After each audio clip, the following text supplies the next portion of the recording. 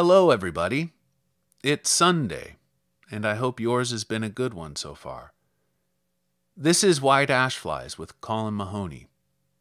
Thank you so much for tuning in today for two poems by William Butler Yeats The Collarbone of a Hare and An Irish Airman Foresees His Death. Both published in his great collection, The Wild Swans at Coole, in 1919. You can find this episode and older episodes of White Ash Flies on Apple Podcasts, Spotify, SoundCloud, Anchor FM, and on Twitter at Colin Mahoney15. And now, two poems by William Butler Yeats on white ash flies. The collarbone of a hare.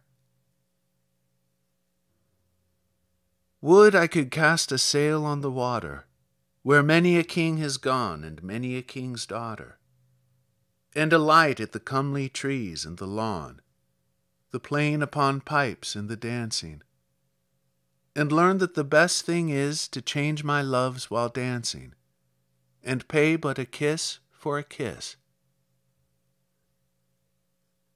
I would find by the edge of that water the collarbone of a hare, worn thin by the lapping of water, and pierce it through with a gimlet and stare at the old bitter world where they marry in churches, and laugh over the untroubled water at all who marry in churches, through the white thin bone of a hare.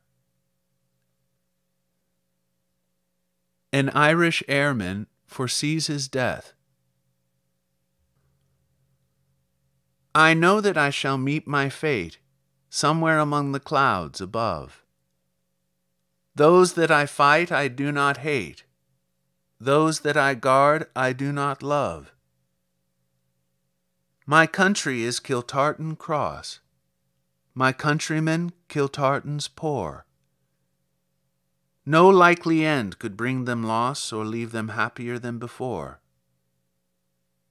Nor law, nor duty bade me fight, nor public men, nor cheering crowds.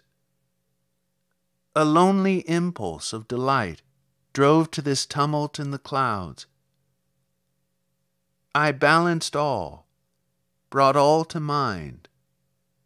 The years to come seemed waste of breath, a waste of breath the years behind, in balance with this life, this death.